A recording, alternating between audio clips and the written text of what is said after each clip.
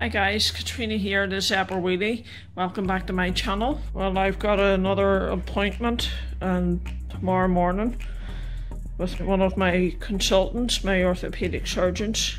I believe it's uh, number three of seven. So we shall see how it goes. Look at the long of the queue for the car park is. It took me an hour just to get in. It's really uh, slow moving, like the car park's packed as well, which is usual for any hospital really. This hospital's not too bad, but uh, compared to the city. God, I hate hospitals.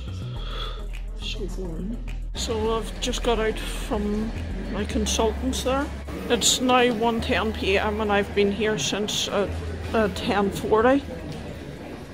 Uh, so that's just hospitals for you, but I'm really hungry now. I'm going to head down the stairs and get something to eat.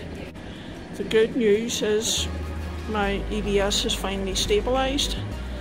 After all of these years of it getting worse, it's finally stabilised. She said I'm doing the right thing by using a wheelchair and maintaining my muscle strength through a non-weight bearing physio. She called the idiot physio that I had in the uh, other hospital incompetent.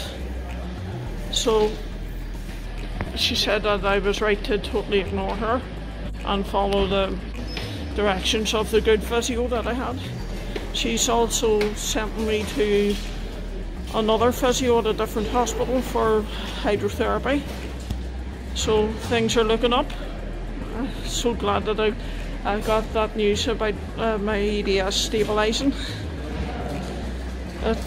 It's after so many years of it getting worse, like, but it's finally stopped. She's also issued me with uh, compressing gloves for both hands. These are to help with the, the hypermobility and to remind me not to bend my joints back too far in my hands when I'm pushing my chair. And on bad days, I have to use these, which are uh, hard splints. I only use them in bad days because uh, they get pretty mucky by using the wheelchair. But I'm just so over the moon at getting that news. She's also referring me to a neurologist because I have a tremor in my right hand and she doesn't think it's related to my muscles. So she thinks I might have damaged the nerves in my hand so she's sent me there. But hopefully that shouldn't be too long uh, coming.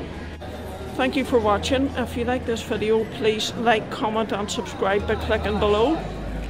And if you're new, remember to hit the notification bell as YouTube does not notify you when I upload a video unless you hit the notification bell. Thank you for watching. Bye bye.